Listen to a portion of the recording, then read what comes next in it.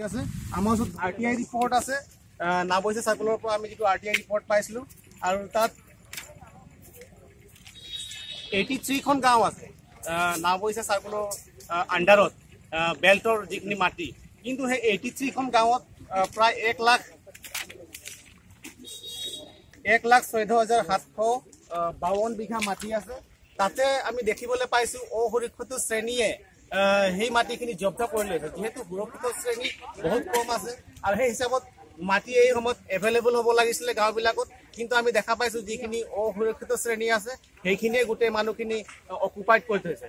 গতিকে আমি অসম চৰকাৰক দাবী জনাইছোঁ আমাৰ লখিমপুৰ জিলা উপায়ুক্তকো দাবী জনাইছোঁ চাৰ্কল অফিচাৰকো দাবী জনাইছোঁ যে অতি শীঘ্ৰে আদিবাসীলৈ আদিবাসীসকলৰ যিখিনি মাটি অসুৰক্ষিত শ্ৰেণীয়ে অকুপাইড কৰি থৈছে বেআইনীভাৱে নামজাৰি কৰি থৈছে সেইখিনি নাকচ কৰিব লাগিব আৰু আদিবাসীসকলক সেই মাটিখিনি ঘূৰাই দিব লাগে বুলি আমি সদৌ অসম আদিবাসী ছাত্ৰ সন্থা লখিমপুৰ সমিতিৰ তৰফৰ পৰা দাবী জনাইছোঁ।